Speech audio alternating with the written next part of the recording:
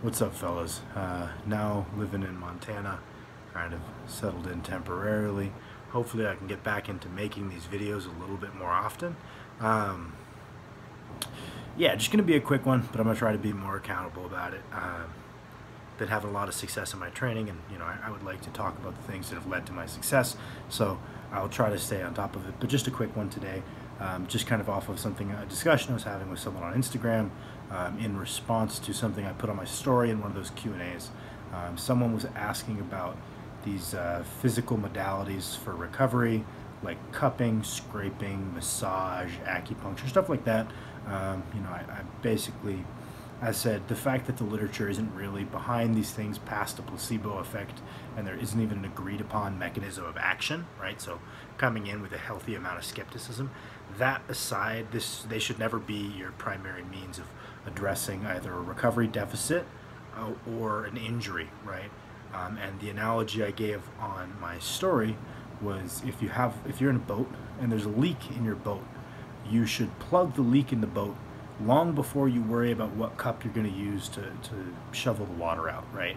Um, that's basically saying that if you're accruing more fatigue than you can deal with, uh, what strategy you're going to use to dissipate the fatigue should be secondary to reducing that incoming fatigue. That should be the first thing you do, right? So it's like if you are chronically banging the shit out of your lower back, um, long before you go get a massage for your lower back every week, you should be dialing back the training volume that is hitting it. Um, and someone, a couple people pushed back a little bit on that analogy. That's fine. It really wasn't that well thought out. There's nothing. Uh, I'm not very emotionally tied to the uh, the boat, um, but I have used for a couple of people who are more visual learners. And my apologies if uh, someone watching this is a little bit more advanced. They're like, oh, this is some really basic shit. I don't need an analogy for this. That's okay.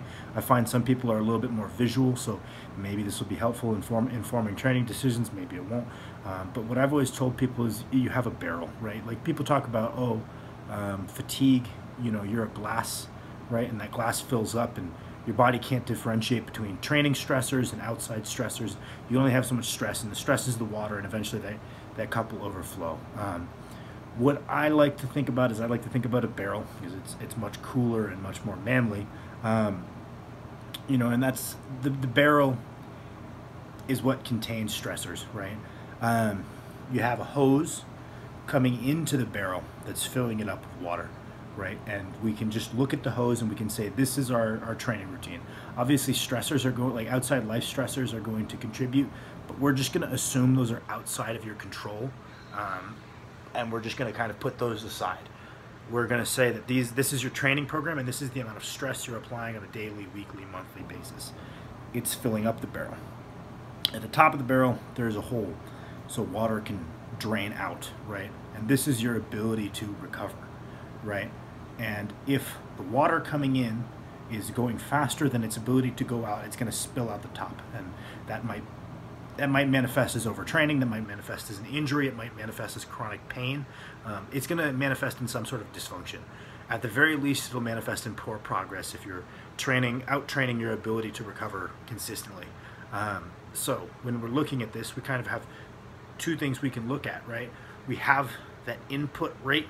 Um, the hose, right? We can dial up the amount that's coming in, we can dial it down. We can also kind of use strategies where for a while it's going to be at a rate faster than we can recover from, but then it has to be followed by a slower rate so that way the, the drainage is going to be faster so that way we can let down the level that we've built up, right? So someone like Chad Wesley Smith, who kind of does a three week up, one week down, a functional overreaching strategy where you intentionally go past your maximum recoverable volume for a week and then take a deload week to try to get like a rubber banding super compensation effect. That would be the strategy of, okay, we're going to blast the hose in one up till it's at the top and then we're going to give it a little bit for our natural recovery rate to drain down, right? And then on the other side of the coin, we do have some some influence over the rate that the water drains, right? We can make that hole a little bit bigger by being in a caloric surplus, sleeping enough, being in good aerobic condition, maintaining a high NEAT, uh, maintain, minimizing life stressors, right? These things are going to make that hole a little bit bigger, which means we can pump a little bit more through the other side. Um, but that's kind of how I go about visualizing it. I, I know it's really basic, and I, I apologize if uh, people were expecting this to be to be some high level thing. But when you're looking at something complex like an injury, you want to look at the the simple side of things first, which is just the the rate that we're decaying fatigue and the rate that we're uh, like accruing fatigue, right? And fiddle with those things long before we look at little specific. Oh, this is the biomechanical reason I was moving like slightly wrong, or oh, this is the like sm- small intervention I need to make, and I'm, oh, I'm missing this accessory, and that's why I hurt, or oh, I need to do cupping, and this is why I hurt. Long before you even think about those things, we need to look at these basic variables um, and the barrel. All right, uh, extremely minor and meaningless addendum. I was rewatching this before I post it. Uh, the hole in the barrel where the water's coming out, and that's the fatigue dissipating, it's at the bottom of the barrel, not at the top. Because then you couldn't drain water past a certain point if it was at the top. I don't know why I said that. The hole is at the bottom of the barrel.